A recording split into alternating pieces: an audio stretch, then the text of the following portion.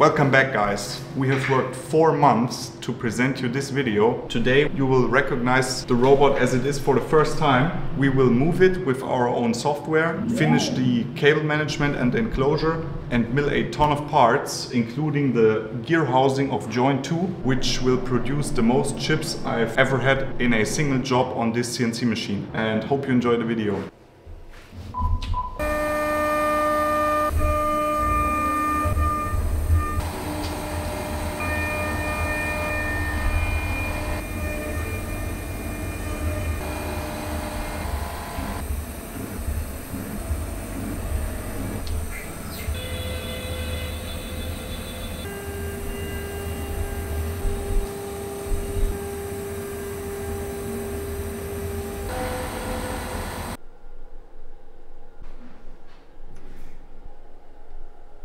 The four threads to hold the stepper motor here were perfect to mount the part on our fixture plate for the second operation.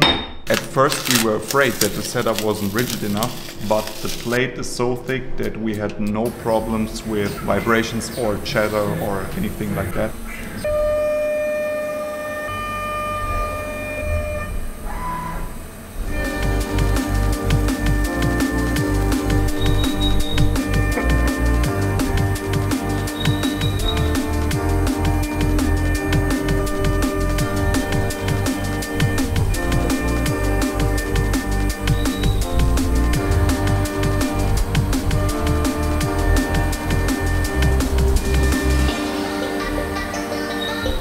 Here we are using the full 19 millimeters of cutting edge length. Always fascinating how capable the CNC router is, but check for yourself.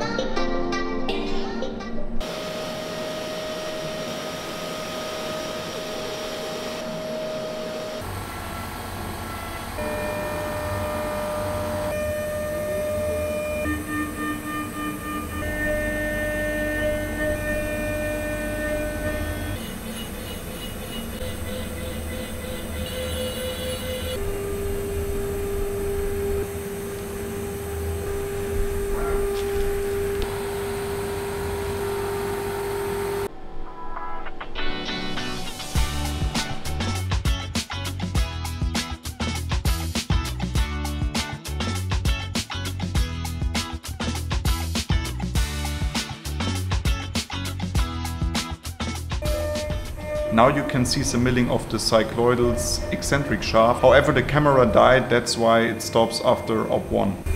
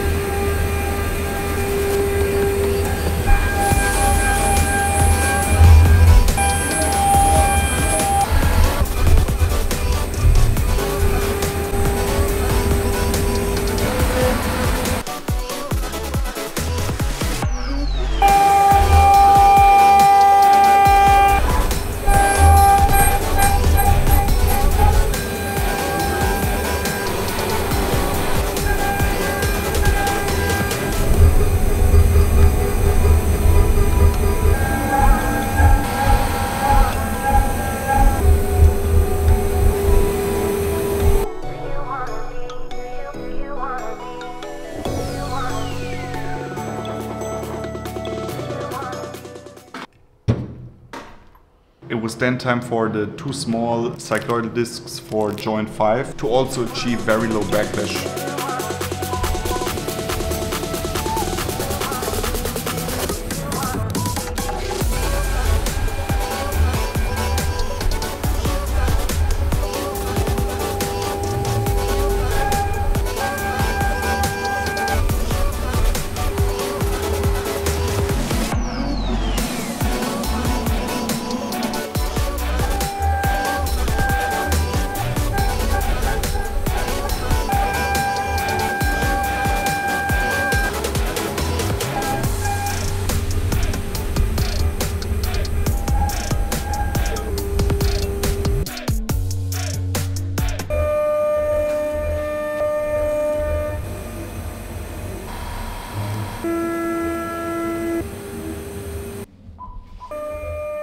Joint 5 is the only one without a direct drive motor concept. It uses a belt. So we have this aluminum rod that connects the belt pulley and the eccentric shaft.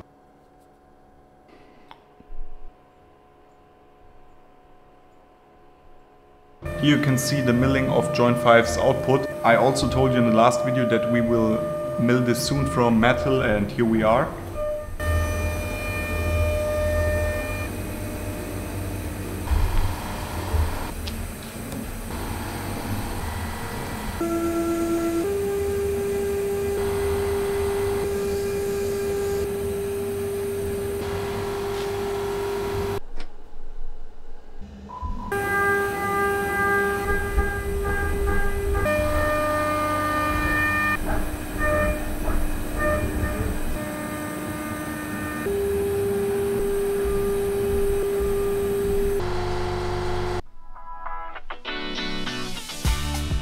Then it was time for three days of wiring everything up and then rewiring everything again because I didn't like it. You know how this goes.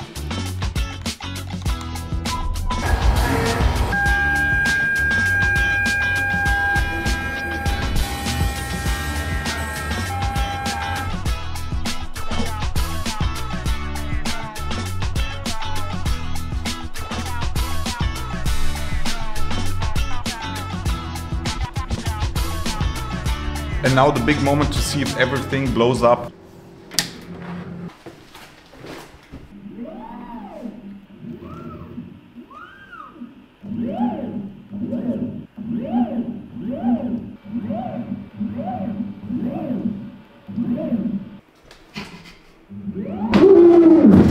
Ja, okay, wir...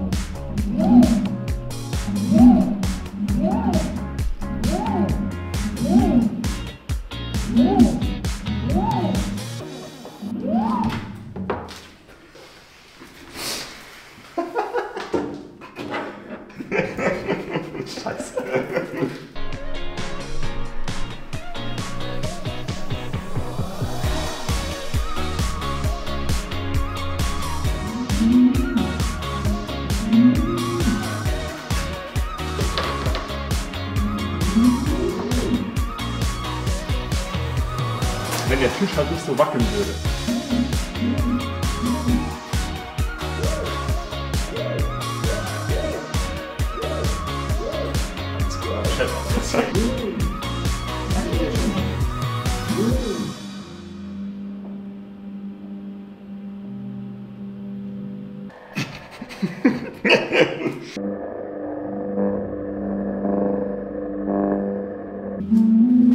We still need to tune in some motions with the stepper motors in our software and also in the next video we will mount this gripper and actually do something with the robot. So I would be very happy to see you there again and thank you so much for your time.